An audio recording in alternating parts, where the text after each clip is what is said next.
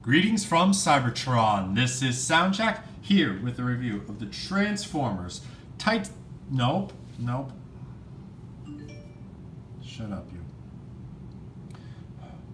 Greetings from Cybertron. This is Soundjack here with a review of the Transformers Cybertron Ultra Class Menasor with heavy load.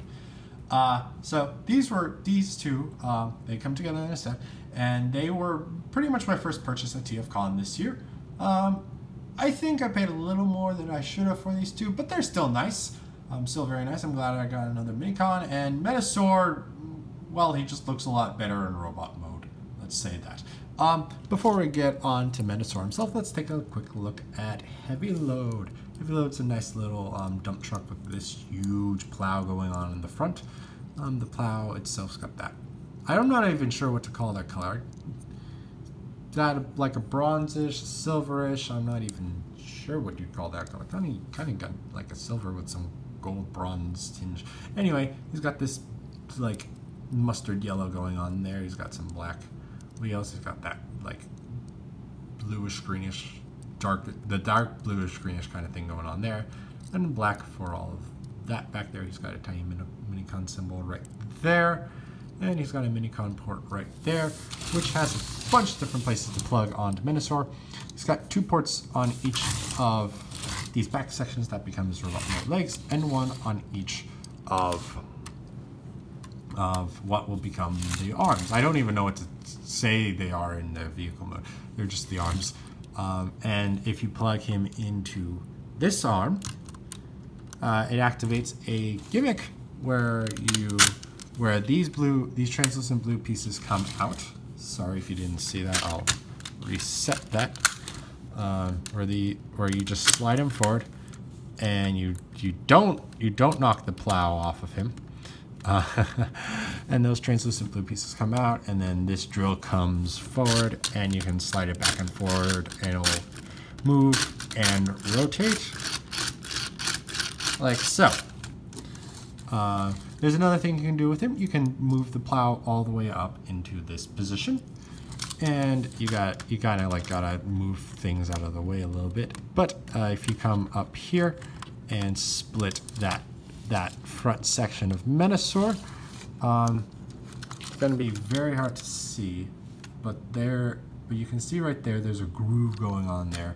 And there's this kind of a groove going on on the side of the dump truck bit and if you can get it lined up properly, which is tricky, which is very tricky, actually. Hold on. Um,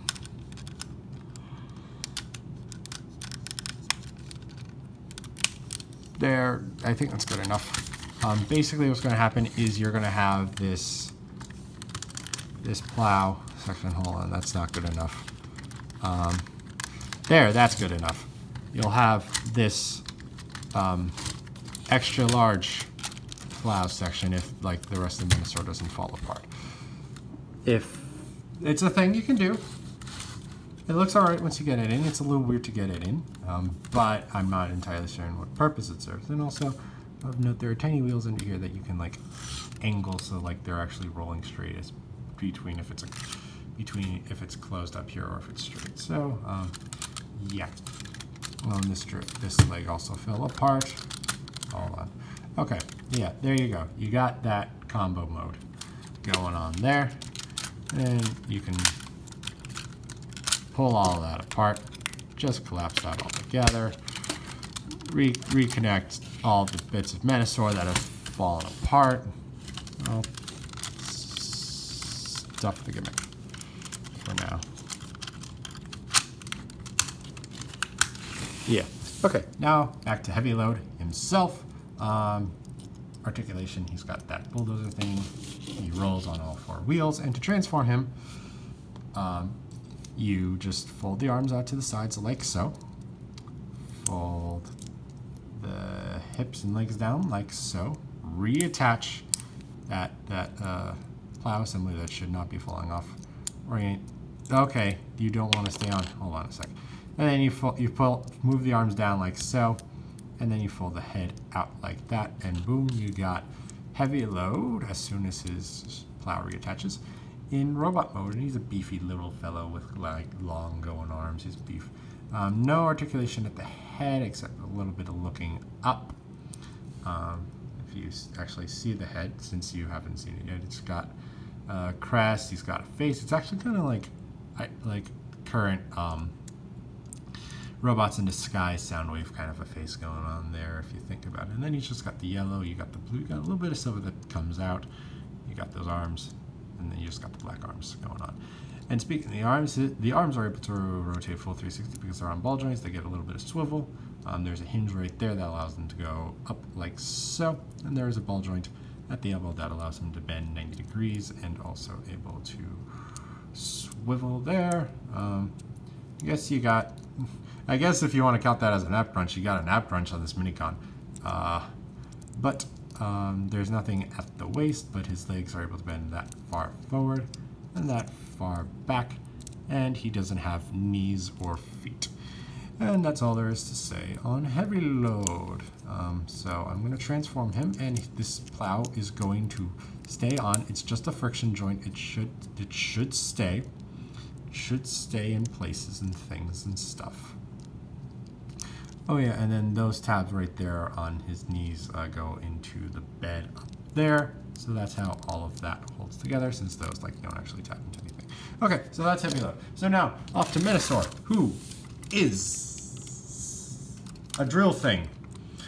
Giant planet transform the planet transformers from the giant planet, which he is one of, were giant uh, construction vehicles, and his was certainly the most fantastical. Um, his predominant color scheme is in like that dark bluish kind of color. That that um, that yeah, that heavy load shares. Yeah, it's a bit more bluish than bluish greenish, um, but it's a darkish kind of bluish kind of color, and there's a light blue go highlights going on there, along with some yellow kind of things. Translucent blue, translucent blue, kind of yellow, mustard yellow stuff, black, light blue. You got this kind of cream color going on in the plow section. You got some textured black stuff going up here a little bit of red, more translucent blue. Don't know what that's supposed to be, but uh, I I would think it's a port. Hold on. Actually, while it's here, it looks like it could be like a Master peg, so um, nah, it does not fit. Fortunately, that does not fit Titan Masters, so uh, sorry to disappoint. I have absolutely no idea what that's supposed to serve, if anything, or if it's just there for like decoration. Um, since this is a very weird toy, um, come to the back. You got some black. You got some of that blue. You got black. You got this cream kind of color. You got a little bit of blue going on. You got black on all of those treads going on there. That's that's pretty much all there is to him because it, and then there's his torso and his face. Yeah. Um, he's got a lot of rolling bits. He's got two wheels underneath there. That, sorry, you're not seeing. He's got two wheels underneath there. Let's raise the camera up um, two wheels right there, that wheel right there, this wheel right here, which actually turns the drill, which is completely out of focus right now. So yeah, if you roll him, you will get that to work. Let's see if I can get, yeah. You can get, I can get it to work a little bit on the surface. Um, then you got two wheels on each of these back treads right there. So he's got a lot of wheels going on.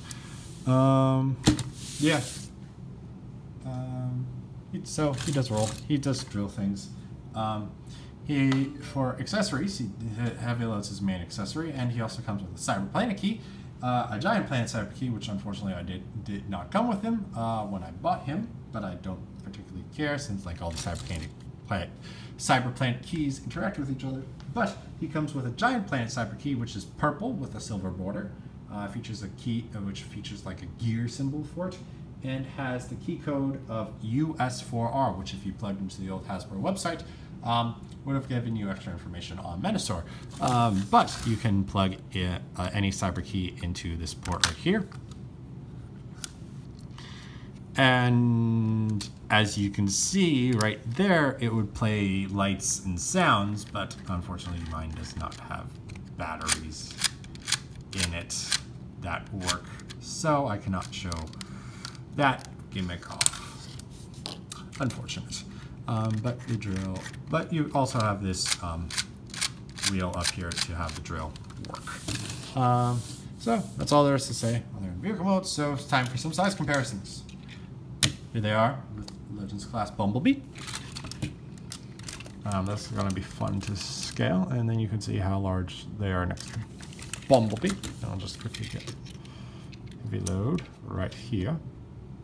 Very small. Deluxe class Chrome Dome. Next to heavy load. Next to Menasor. Voyager class Megatron. Heavy load. Menasor. And leader class Sixshot. Uh, next to Menasor, which is significantly longer, and next to Heavy Load. I never mentioned it before, but uh, you may not have heard the Ultra class here on this channel before because it's a size class that no longer properly exists and dying out around the time of the first movie, but was a size class between Voyagers and Leader class figures to, to help you give a little bit of comparison. Though we'll see in a bit uh, how big Menasor actually is compared to modern day leaders.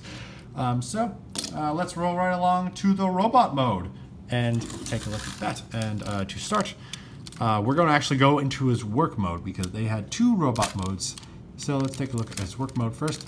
Firstly, you're going to unpeg, untab um, that bit right there from that bit there. And then you're going to just kind of leave it at that kind of an angle. Do the same on the other side. Kind of leave it at that kind of an angle. Uh, come down, rotate the arms, rotate the arms, fold these pieces back, and there you got Menasor in his work mode, which is supposed to be a shorter squatter type of work mode. And since we're here, I'm not going to go over articulation at this point because it's just silly, but I'm going to take a brief pause I'll bring heavy load out uh, for the time being. And I will show off some uh, robot mode size comparisons. Like I said, once I get heavy load in robot mode. Just because, just to show off like how big this, this work mode is compared to current toys. Here they are with Legends Class Bumblebee. Deluxe class Chrome Dome. Sorry, heavy load. Deluxe class Chrome Dome. Voyager class Megatron. And Menasor is just shorter than Voyager class Megatron in this work mode, but he'll get taller very quickly. And leader class Sixshot. Is Sixshot in view? Yes, he is. Okay. All right, and now with that pit stop, let's uh, finish getting him into his proper robot mode. And there's honestly not a whole lot left to do. I'm just gonna move those out of the way. And then you're gonna take these, what will be like crotch pieces, fold them down on those hinges. They will tab together using that tab and slot, tab and slot.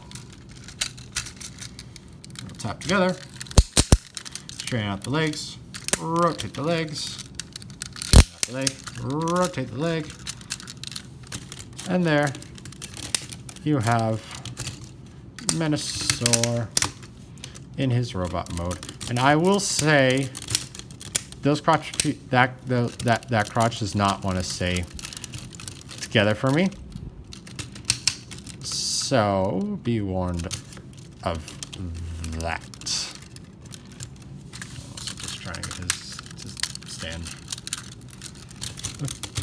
Room. Whatever. Okay, that's what we're that's what we're working with today. Um, yeah, that's annoying uh, that the crotch won't stay together, but yeah, the rest of the robot mode looks pretty nice. Um, let's take a closer look on that face right there. He's got a very interesting looking face. Uh, he's got predominantly yellow, uh, mustard yellow head on that like dark blue with a little bit of orange and some very nice light piping going on in those eyes and that forehead crest, which is very, very neat and very different. And you got a nice Decepticon symbol on that chest right there. Some nice silver going on, a bit of yellow. You got this yellow, mustard yellow gun that articulates. You got a little bit of red there. You got what looks like a cockpit going on. You got, sorry, you got a bit of a cockpit going on there, even though um, this is underneath them and this is all like fake chest kibble and whatnot, so I don't know what's up with that. A little more mustard yellow, a little bit silver, more black. You see some red, some mustard yellow, some mustard yellow. You see things you saw in the other mode. The arms are just straight up what you saw in the other mode. And then you got like these things going on here. And boy, I should have adjusted that before I started this review. Huh. Oh well. Oh well. Um, and then you got Menasor's, Menasor's back right there. And all the same things and interactions are able to happen. Though the Minicon ports are a little hard to work with since, um, as I lower the legs, uh, you can see that the mini port, Minicon ports are in the middle there. I'd show you the cyber key access, um, but that doesn't work.